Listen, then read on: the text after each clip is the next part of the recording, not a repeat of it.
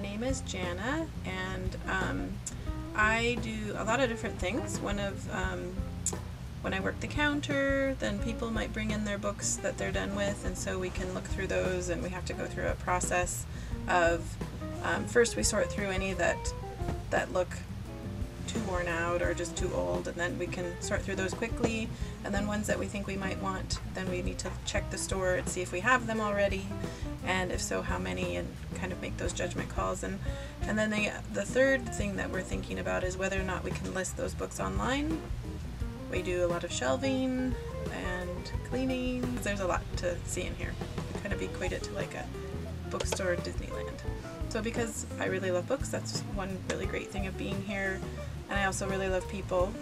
Um, when we do actually locate the book that somebody's looking for, it's very exciting. But one time somebody told me that I was their hero, so that was really fun.